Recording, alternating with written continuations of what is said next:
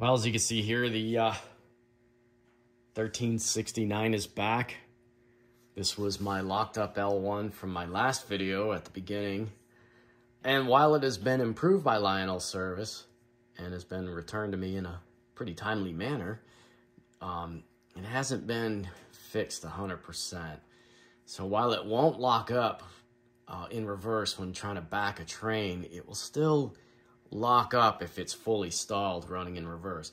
No issues whatsoever running forward. So um, I will demonstrate here and then we will head into the shop pretty quickly here and uh, see if we can't figure out what's going on. So here's our L1 at roll speed in reverse and you can see it's pretty fairly smooth. Just how you'd expect a legacy locomotive to operate.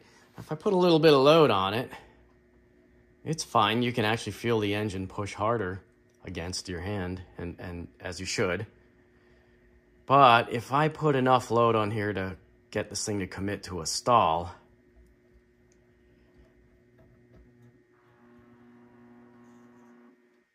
we've got this situation. So basically what happened is the gearbox fully locked up. As you can see, the Legacy motor driver kind of goes into a self-protect mode, which is really cool. That, that's very cool that it can recognize an issue and respond before you smoke all the MOSFETs off the board. So the classic workaround for this has been to free the gearbox by just, you can see that it's locked here, by doing that, which isn't like something positive for the longevity of of the gearbox. So then once once we've got it freed up, you can see that it's pretty freewheeling here. These are supposed to be very low friction gearboxes. Um, we can reset the electronics with aux 10 or reset, and then we're free to go about our business hauling freight.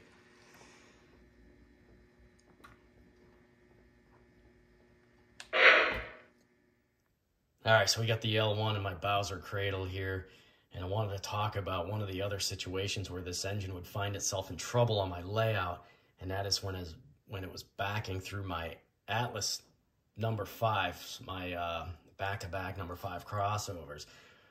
These pickup rollers are a little bit twisty about the, the vertical here and they can move around just enough and get off center where these pickup rollers would find themselves uh, in a nice spot where they could lock themselves into my uh, into my switches. And you know, as you know, running in reverse, this engine doesn't like to uh, experience a stall situation. So I had already printed out a set of um, pickup roller mounts for the other L1. And they're just a little fatter laterally, so they don't allow the uh, pickup rollers to twist around so much. Just uh, keeps this engine uh, out of trouble. So we're gonna change those out while we're in here. All right, so here's a peek down into the uh, double reduction gearbox. So as you can see, this is the input from the worm here. And there's a uh, kind of a secondary gear that drives the final gear down there. So I think the final gear ratio, um, motor versus driver rotation is 16 to 1.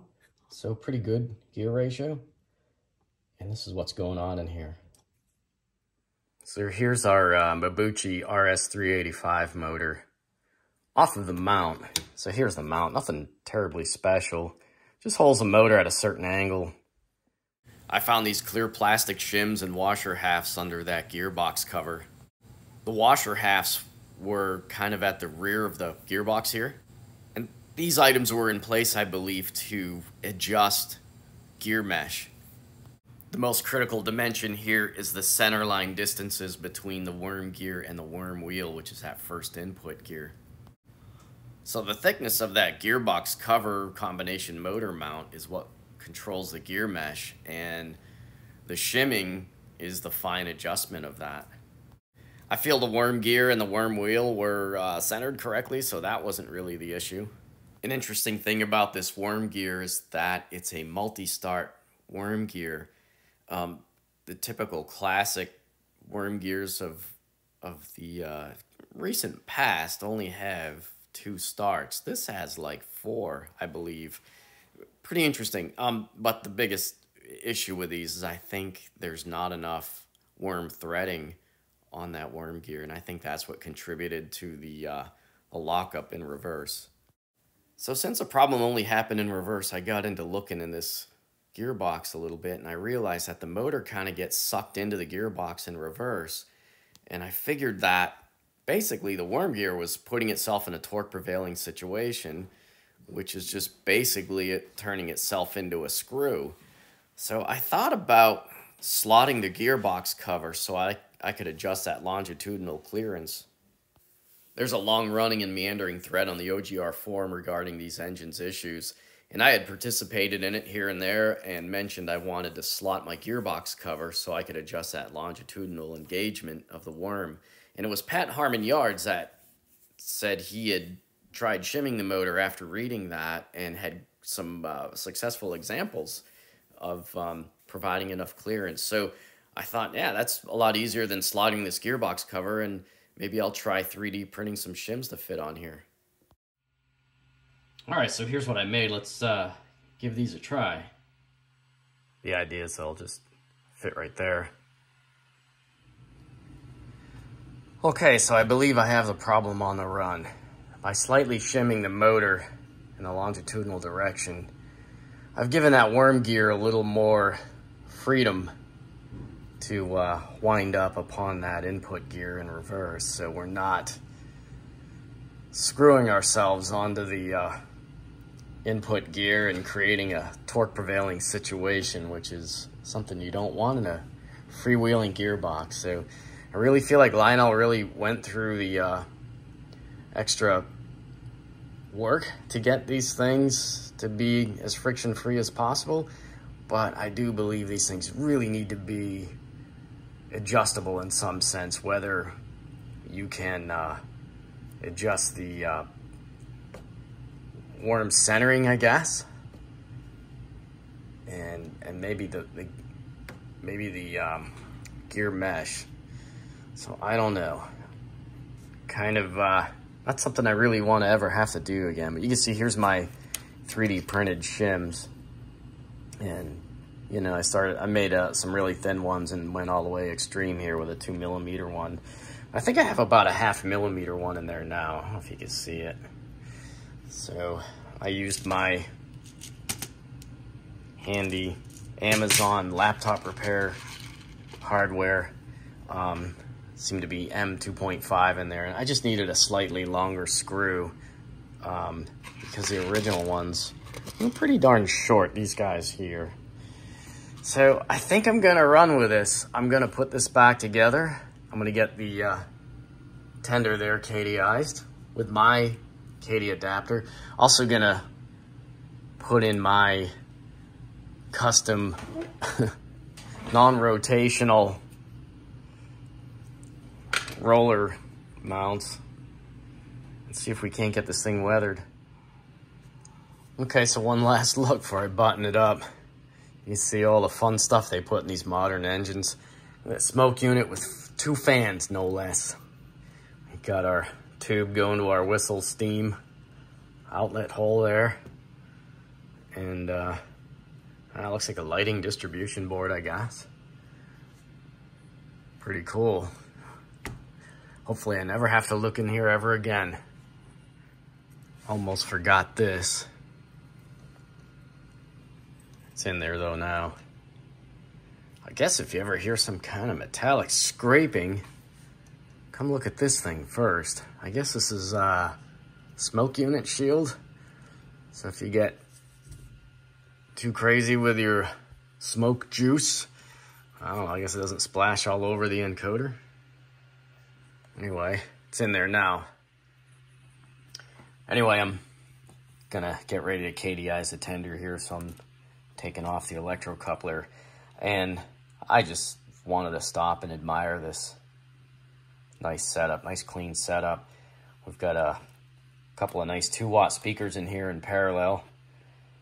And uh, they are baffled and enclosed, which is really nice. So these, these engines actually do sound really good for, for being a small engine. Um, I don't know if it quite makes up for the gearbox adventures, but it is a really good sounding engine. Now, one other note on the grease ports. This is the only one that's effective. I don't know why Lionel puts these grease ports sometimes on these plain axles. You're better off just oiling the uh, bushings in here. This is the only one that's getting you into the gearbox. So if you're going to take a gearbox apart, you might as well just paint the gears with grease yourself. This thing you have to pump in, I don't know how many milliliters of grease, but that gearbox is pretty cavernous. Well, I guess after all of that, we should probably talk about why I got these engines in the first place. I, I guess the uh, first thing was that they were a pretty attractive street price for being uh, full-scale, uh, medium-sized steam. You know, they are Pennsy, of course. Um, I bought them with the understanding that they're not a perfect model, but I did not expect to have paint issues. I did not think that the DGLE would be so army green right out of the box. And of course, the bigger disappointment was the performance locking up in reverse like that. So when I first got the 1369 here, you know, I decided, well, I'll send it back to Lionel and let them deal with it. And then uh, when it comes back, I'll get to it because I had the 1343 all set up. And it's kind of where we're at now. I um, didn't want the problem to best me, so I wanted to take it upon myself to figure it out. Not that I want to do that all the time, but it was maybe not so fun, but it certainly was educational.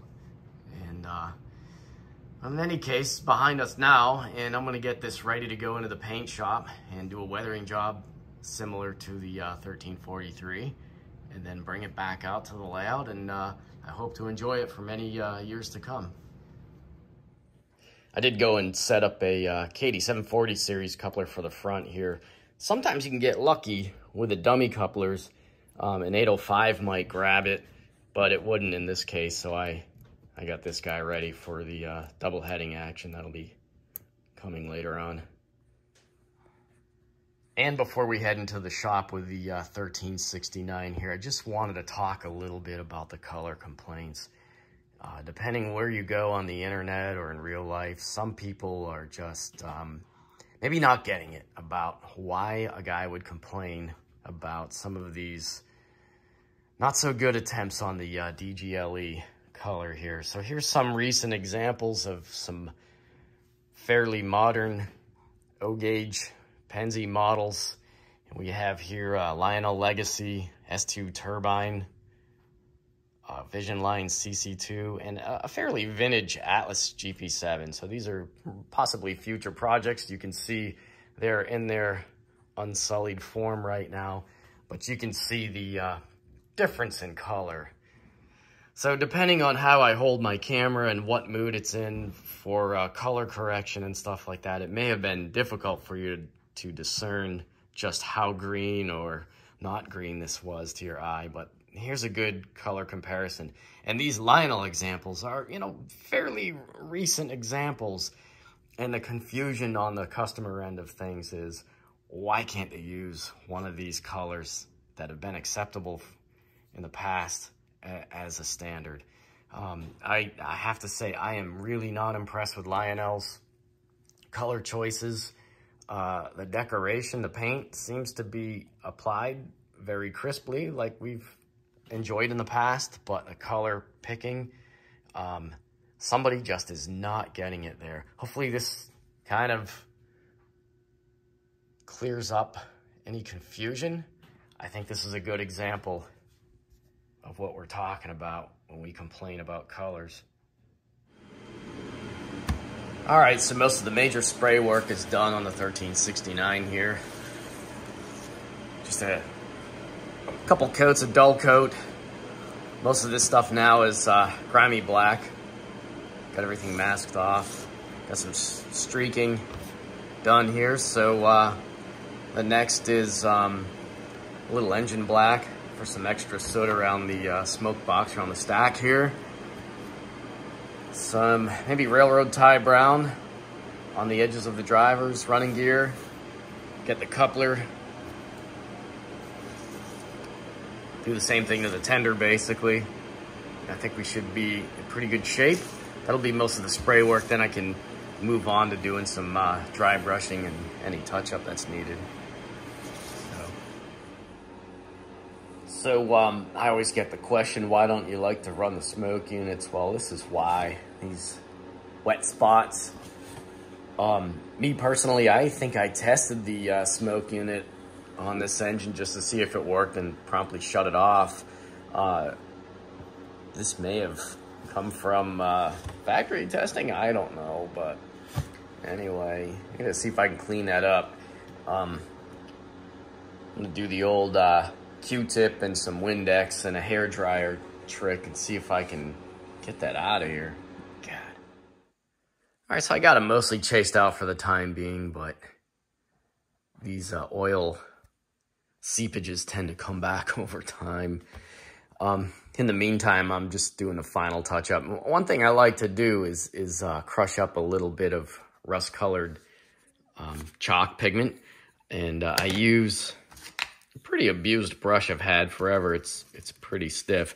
And uh, in this bowl here, I've got several rust colored pigments going. One thing you may never hear from a guy that does weathering on these trains is the word subtlety. And I don't like to overdo this. Um, because it'll stick out like a sore thumb. So it's a very subtle effect. And a lot of people kind of confuse weathering with um, kind of like doing it to the point of uh, an engine almost looking like it's ready for the scrap line. I am trying to do something that looks like it's been in service and uh, may, has, may have missed a shopping or two, you know. But anyway, it's a neat effect um, if done right. I, I try to do it very sparingly. So we're almost done here. I'm gonna do a little bit more dry brushing here and there and then uh, pull off the masking tape, take it out to the layout, give it a lighting test.